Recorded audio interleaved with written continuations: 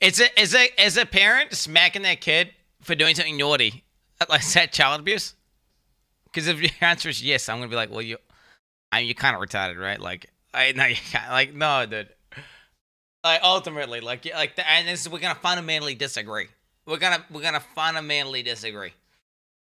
Uh, that's the point. Like, it's like one of those things where I it's it's a fucking 18 year old dude dating a fucking six year old chick, a pedophile. I'm we're gonna disagree. I'm gonna say no. Like, it's like the your people's definitions of words is so- like there's clearly there's one thing, and there's clearly I guess, but living in New Zealand, which is like one of the capitals of domestic violence, I've seen a lot of